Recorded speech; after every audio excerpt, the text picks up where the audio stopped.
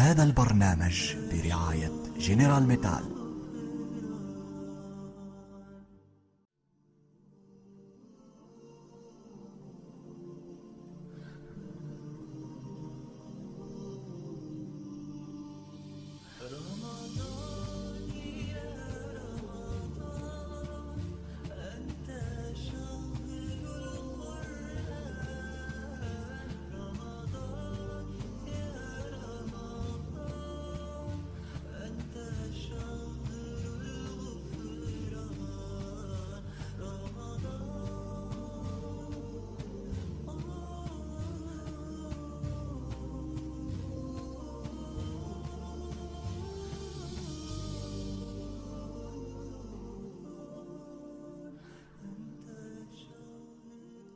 بسم الله الرحمن الرحيم وصلى الله على سيدنا محمد النبي المصطفى الكريم وعلى اله وصحبه وسلم تسليما كثيرا سبحانك لا علم لنا الا ما علمتنا انك انت العليم الحكيم رب اشرح لي صدري ويسر لي امري واحلل عقده من لساني يفقه قولي ايها المشاهدون الكرام السلام عليكم ورحمة الله تعالى وبركاته. الحمد لله الذي أعاد علينا هذا اللقاء في برنامجكم رمضان كريم. نرجوه سبحانه وتعالى أن يعيده علينا مرات ومرات في الدنيا ومرات ومرات في الآخرة عند حضرة رسول الله صلى الله عليه وآله وصحبه وسلم تسليما كثيرا في أعلى جنان الخلد. ثم أقول وبالله التوفيق. قلنا الدول تقام على أربع أسس عدل الأمراء علم العلماء وسخاء الأغنياء. السخاء الجود الكرم. هذا السخاء من الأغنياء. هذا الكرم وهذا الجود يتعين ويتخصص في رمضان. لأن رمضان له خصوصياته وله نكهته وله تلك الميزة العظيمة ألا وهي ميزة التقاء العائلة حول مائدة الإفطار خاصة وحول مائدة السحور. هذه المائدة مائدة الإفطار التي قلنا سابقا أنها المرة الوحيدة تقريبا في العام التي يجتمع حولها كل أفراد العائلة. كبيرهم وصغيرهم والدهم ومولودهم الوالد والولد الأم والأولاد كلهم يجتمعون حول مائدة الإفطار. وتنظر فإذا كل الخيرات فوق هذه المائدة.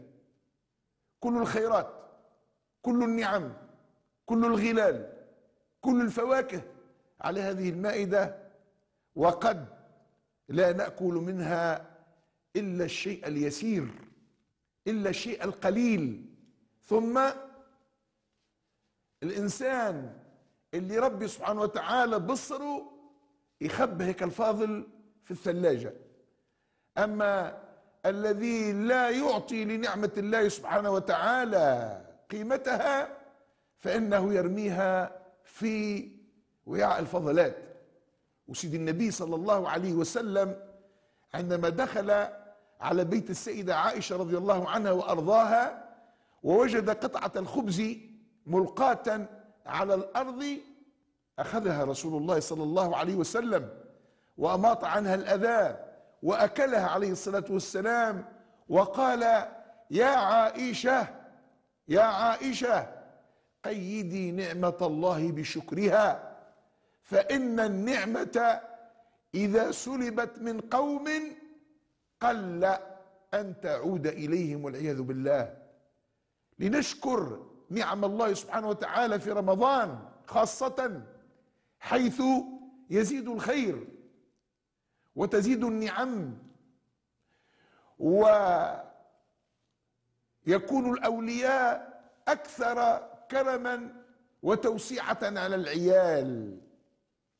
لننظر ولنتفكر أولئك الذين لا يجدون حتى مائدة يدورون حولها. فضلا عن طعام يأكلونه ويفطرون عليه. لا يجدون تمرة ولا حتى شربة ماء صافية. لا يجدون فضلا على البريك وعلى وعلى الشربة وعلى وعلى أنواع المآكل والمشارب. أناس متخمون وأناس يبيتون على الطوى يلحقون صياما على صيام يلحقون طوى على طوى. والحكمة تقول ما جاع فقير إلا بتخمة غني. يا غني يا من أعطاك الله سبحانه وتعالى انظر إلى من حولك. انظر إلى جيرانك. قد تجد في جيرانك فقيرا فأعطيه. أسهمه. أعطيه من شيئا من عشائك. ما تقولش أو توجيبوا له. وهكا ياخو خير ربي. أعطيه. أنت رقمك مش تعطيه لك الفقير هكايا أنت مش تعطيه للمولى سبحانه وتعالى لله سبحانه وتعالى. ما تقولش راهو برشا من الناس تو يتذكروه. وهكا لبس عليه. وهكا عنده. وهكا ما عنده أعطي ليعطيك الله سبحانه وتعالى. اشكر نعمة ربي سبحانه وتعالى. واسمع سيدك عليه الصلاة والسلام إيش قال؟ ما آمن بي. راهي راهي كلمة خطيرة. مش سهلة. ما آمن بي. يعني ما آمن بي إيمانا كاملا. صلى الله عليه وسلم. شكون هو هذا؟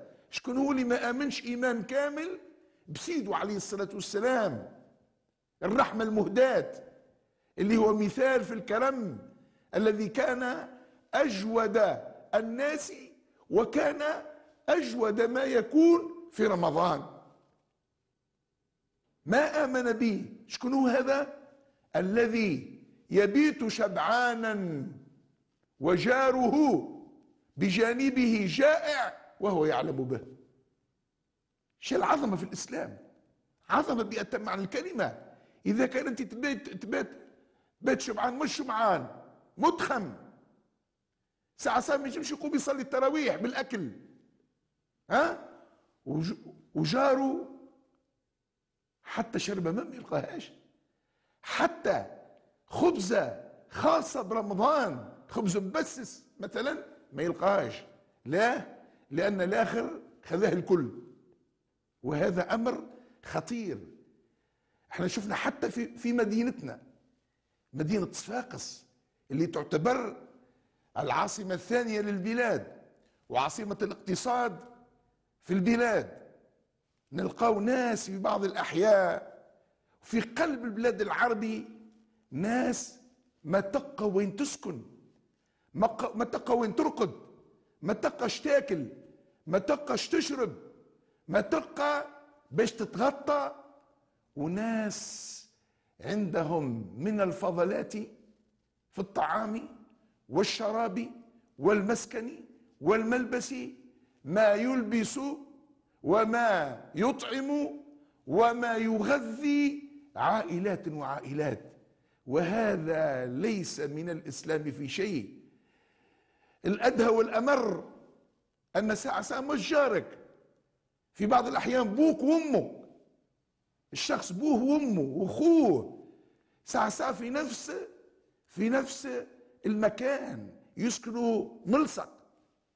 وبوه وأمه لا يجدون ما يقتاتونه في هذا الشهر العظيم وهو يأكل مع أولاده وزوجته المآكل الطيبة والمشارب اللذيذة والشراب البارد ولا يتذكر والديه وهذا منتهى اللؤم والعياذ بالله. نعود بعد فاصل قصير بإذن الله سبحانه وتعالى.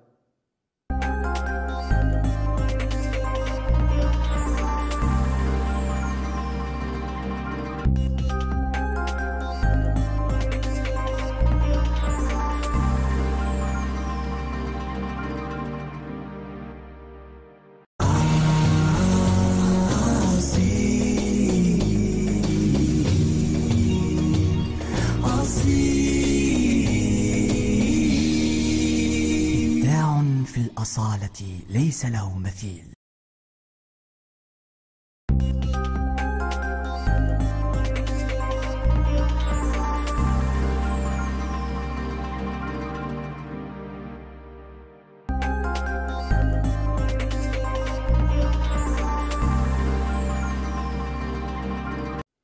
ما تقوليش هالكلام هذايا كانوا في أول رمضان.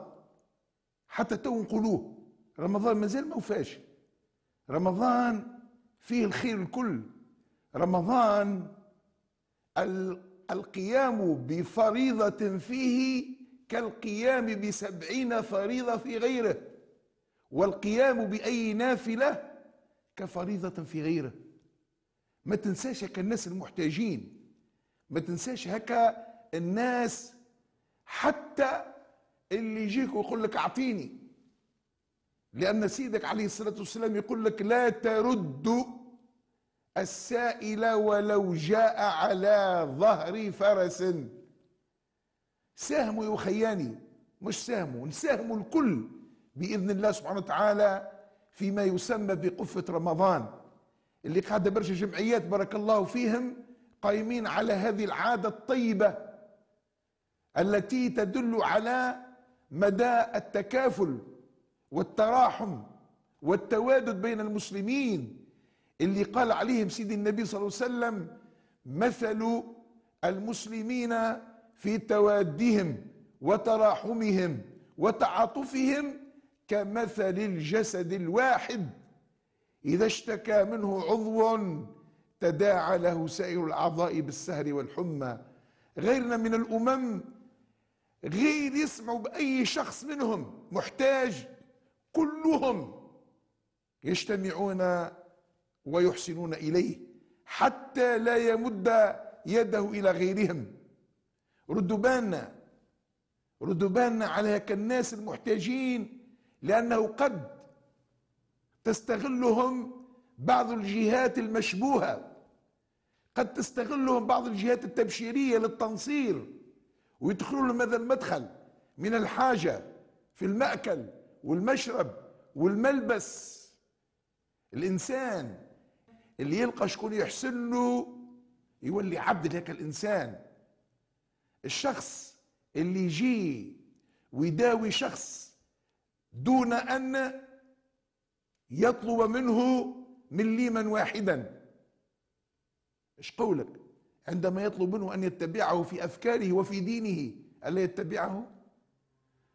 شوف المسيحيين وين يمشي وش وش يعملوا للناس. يداويهم يداويهم على أن ذلك الدواء دم المسيح عليه السلام. ويداويهم بالأقراص على أنه قلب المسيح عليه السلام. فيشفى الإنسان ويطعم ها؟ ويعطى من الخير ما يسد حاجته. ثم إذا طلب منه أن يبتعد عن دينه فعل ردوا بالنا لا ننهر السائل. وما نقولوش يزي عاد فيه البركة. رد بالك لا تبدأ تختارش باش تخلي في القفة متاع رمضان. الواه التاي والواه القهوة والواه الجبن والواه الحليب. تما ويزي فيه البركة. طريف اللحم وخبزتين. لا شبيه. هو ما عندوش الحق باش يشرب التاي كيفك انت ما عندوش الحق باش يشرب قهوة كيفك أنت. ما عندوش الحق باش يشرب الحليب كيفك أنت. سبحان الله العظيم. ما هذه الأنانية التي أصابتنا حتى النخاع؟ ما هذه الأنانية اللي نشوفوا ناس غرباء؟ اضطرتهم الحروب واضطرتهم ظروف أوطانهم إلى مغادرتها.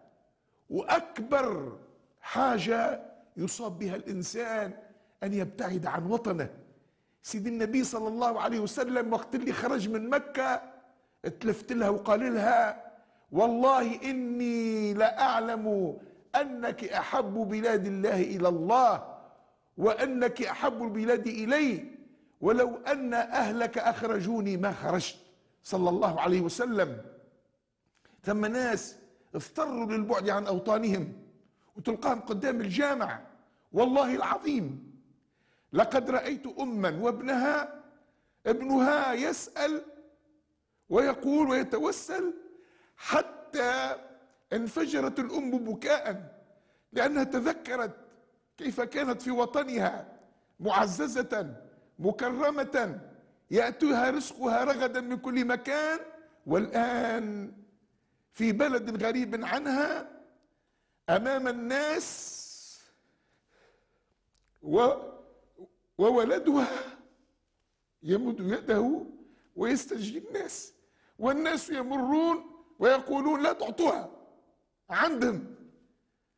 وبرشا من الناس قد يعطيهم وهذا منتهى البخل منتهى البخل خاصة في هذا الشهر العظيم. إنسان بعيد عن أهله بعيد عن وطنه بعيد عن عائلته في هذا الشهر الكريم.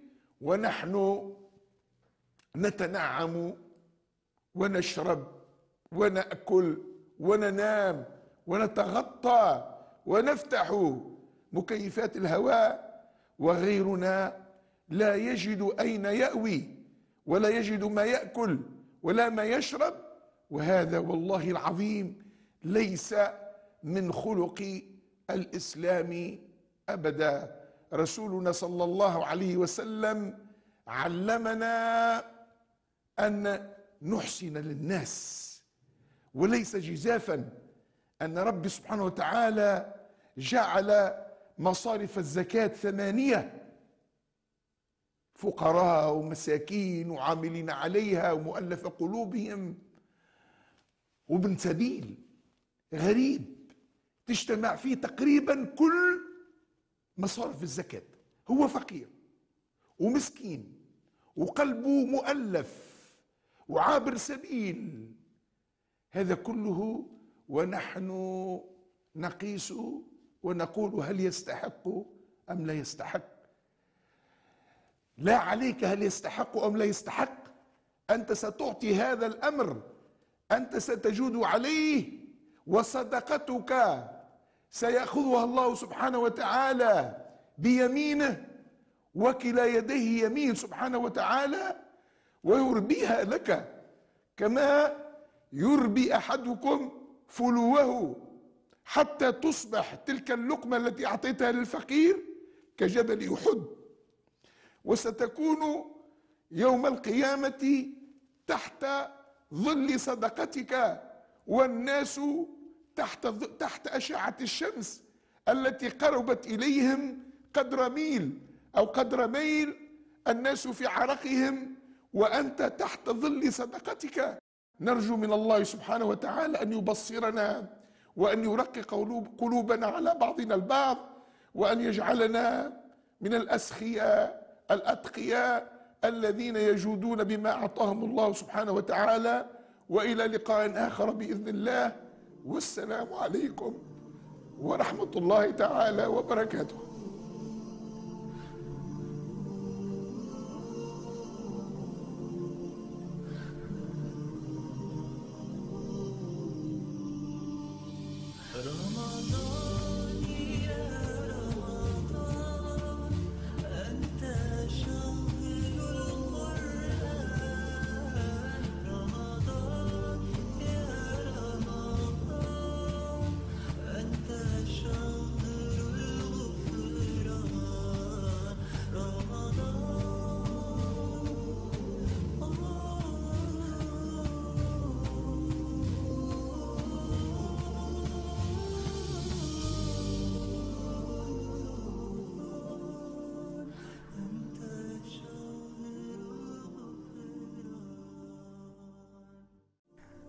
هذا البرنامج برعاية جنرال ميتال